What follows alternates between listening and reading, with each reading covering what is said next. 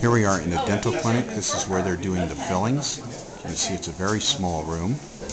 Uh, and we have both uh, doctors from uh, Ethiopia working on the patients, as well as some our American doctors working side by side, uh, helping these people who uh, some of them may have never had uh, dental work done in their lives, and this would be their first time to a dentist, and uh, they're doing very well.